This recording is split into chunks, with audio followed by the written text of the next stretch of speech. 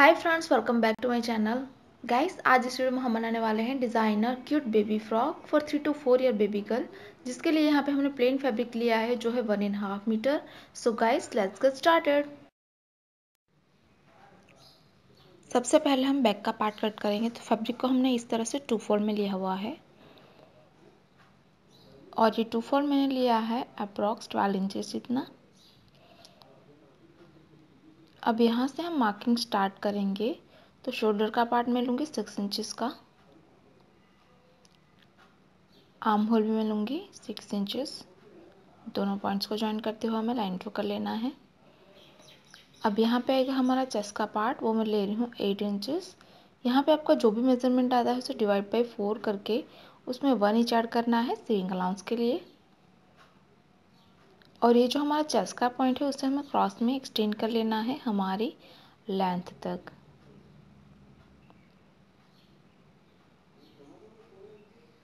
यहाँ पे total length मैंने ली है ट्वेंटी फाइव इंचज़ अब यहाँ पे हमें हल्का सा राउंड शेप ड्रॉ कर लेना है।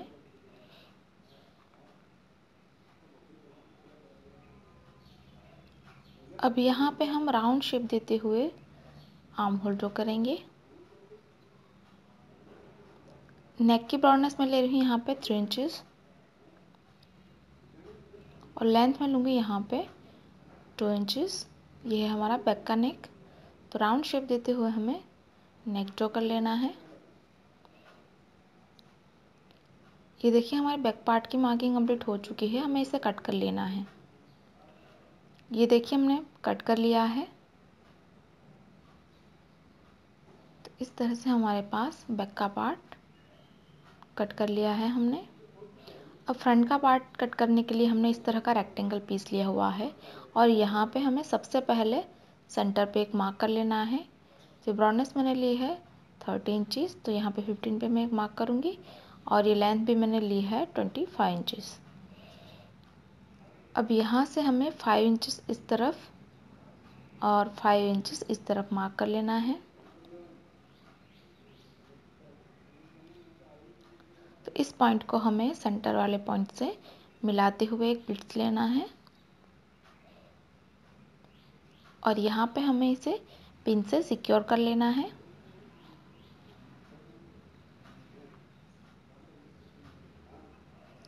और इस पॉइंट को हमें इस पॉइंट से मिलाते हुए एक अपोजिट प्लिट्स लेनी है। तो इस तरह से हमारे पास इन्वर्टेड बॉक्स प्लेट बन जाएगी हमारी बैक साइड में हमारी आएगी बॉक्स प्लेट और इस तरफ़ हमें इन्वर्टेड बॉक्स प्लेट मिलेगी। तो यहाँ पे भी हमें पिन से सिक्योर कर लेना है।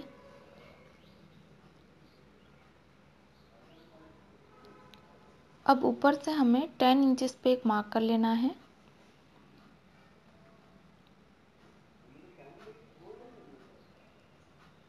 और यहाँ से यहाँ तक हमें सिलाई लगा के इस पिट्स को लॉक कर लेना है। तो देखिए, मैंने दोनों तरफ़ से सिलाई लगा दी है, यहाँ तक।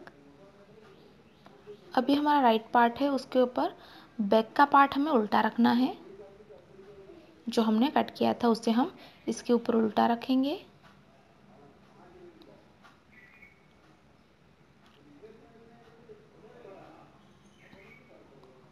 और हमें यहाँ पे इसे कट कर लेना है। नेक पार्ट हम बाद में कट करेंगे तो आर्म होल और ये पूरा जो शेप है उसे हमें कट कर लेना है। ये देखिए हमने कट कर लिया है। अब मैं इसे हटा दूँगी। अब हमें नेक पार्ट कट करना है तो फैब्रिक को हमें इस तरह से टू फोल्ड में लेना है।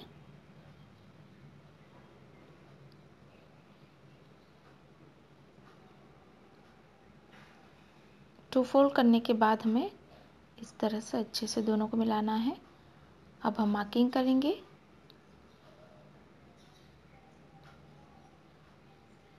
तो नेक की ब्रॉडनेस थ्री इंचेस और लेंथ में लूँगी यहाँ पे थ्री एंड हाफ़ इंचेस और यहाँ पे हम दोनों पॉइंट को ज्वाइन करते हुए राउंड शेप ड्रॉ कर लेंगे। तो ये हो जाएगा हमारा फ्रंट का नेक इसे हमें कट कर लेना है। ये देखिए हमने फ्रंट का नेक भी कट कर लिया है।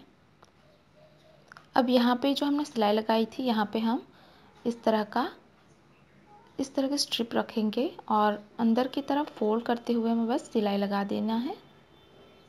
तो दोनों तरफ़ से हमें फोल्ड करना है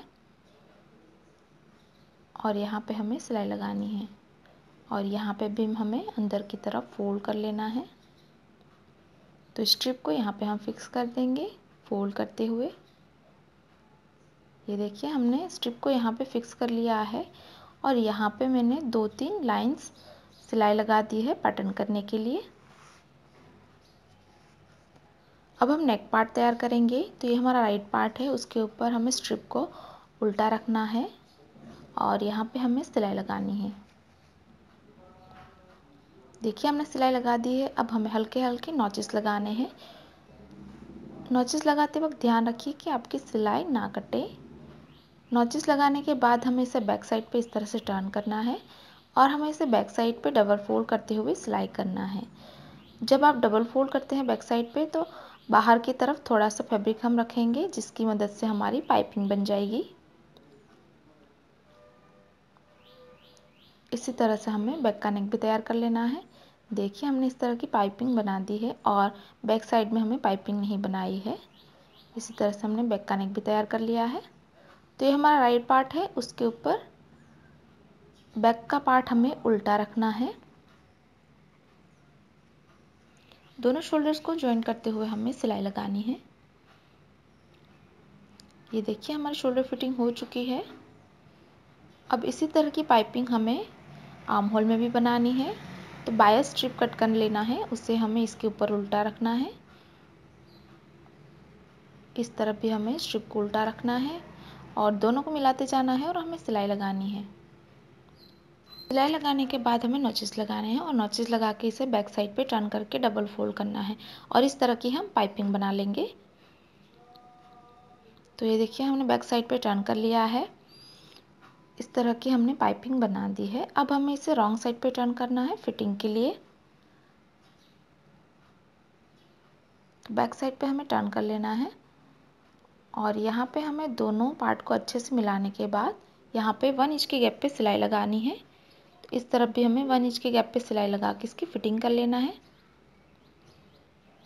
उसके बाद हमें इसकी बॉर्डर को फोल्ड करना है।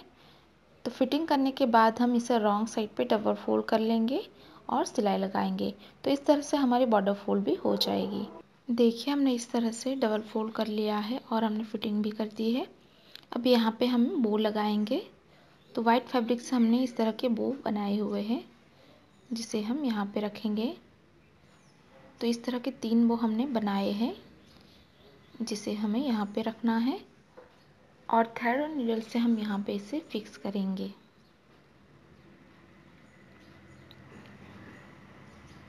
तो इसके ऊपर आप चाहे तो इस तरह के बटन्स लगा सकते हैं। इसे भी हमें थ्रेड और नीडल से यहाँ पे फिक्स कर लेना है।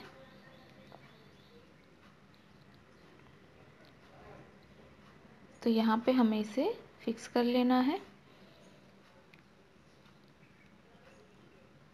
तो इसी के साथ ही हमारा डिज़ाइनर क्यूट सा बेबी फ्रॉक बिल्कुल तैयार हो चुका है। सो गाइस तैयार है हमारा डिज़ाइनर क्यूट सा बेबी फ्रॉक। अगर आपको हमारी ये वीडियो अच्छी लगी तो प्लीज़ वीडियो को लाइक करें, शेयर करें। और गाइस, अभी तक आपने हमारे चैनल को सब्सक्राइब नहीं किया है तो प्लीज़ इसे सब्सक्राइब करें और उस बेल आइकन पर भी क्लिक करें ताकि आपको हमारे आने वाले सभी वीडियो की नोटिफिकेशंस मिलती रहे। Thanks for watching bye